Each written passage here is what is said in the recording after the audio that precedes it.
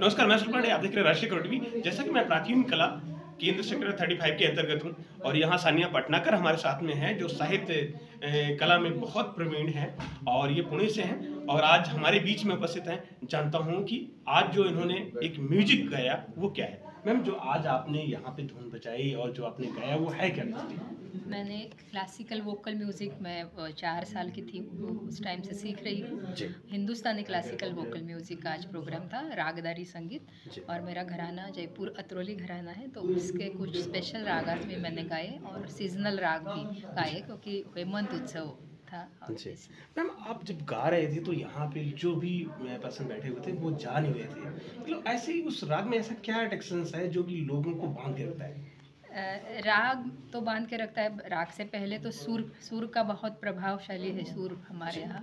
तो सुर से सुर अगर अच्छा हो तो लोग बैठे रहते हैं। अगर सुर चला गया तो बैठ नहीं सकते लोग। तो सुर से बांधना लोगों को और सुर के लिए बहुत साधना एक लाइफ भी पूरा नहीं है। ओके हाँ। ओके कितने प्रकार के सुर होते हैं हमारे दर्शकों को बताएँ? हमारे इंडियन म्यूज़िक में सात प्र, सात सुर है सारे गमा पधनिसा और पाँच विकृत स्वर है चार कोमल एक तीव्र तो लेके बारह स्वर है लेकिन उसके शेड्स भी है श्रुति स्थान उसके स्वर के हर एक स्वर के भी शेड्स है। तो ज़्यादा डेप्थ में जाएँगे तो स्वर के बारे में पता लग सकता है तानपुरा हमारा इंस्ट्रूमेंट है उससे भी बहुत रेजोनेटिंग श्रुतियाँ आ जाती हैं। जी। मैम जैसे कि प्राचीन कला केंद्र के अंतर्गत और भी शिष्य यहाँ पे आते हैं सीखने। सो आप उनको क्या मैसेज देना चाहेंगे?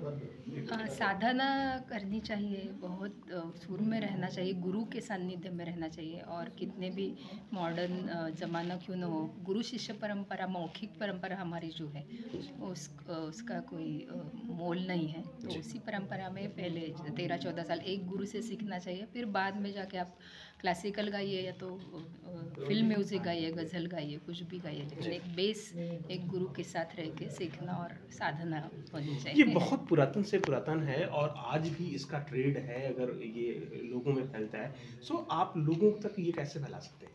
लोगों तक आम आम लोगों तक और और फैलना चाहिए हमारा क्लासिकल म्यूज़िक जैसे कि आपने बोला पुराने ज़माने से वैदिक चांट से जन्मा हुआ है, उसके बाद प्रबंध ध्रुपद गायन शास्त्रीय संगीत।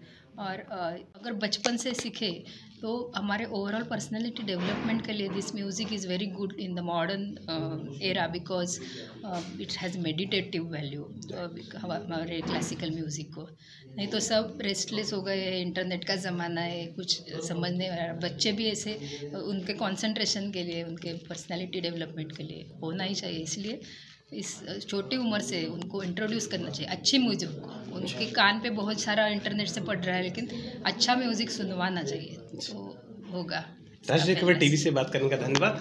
जैसे सानिया पटनाकर जी हमारे साथ हैं इनका कहना है कि जो बच्चे इंटरनेट में बहुत ज़्यादा खोए रहते हैं उनको ऐसे म्यूजिकल सीखना चाहिए ताकि हिंदुस्तान में ये पुरानी परंपरा कायम हो सके। मैं सुर पांडे राष्ट्रीय खबर टीवी चंडीगढ़। ताज़ा खबरों से जुड़े रहने के लिए सब्सक्राइब करें राष्ट्रीय खबर टीवी। और बेल आइकन दबाना ना भूलें।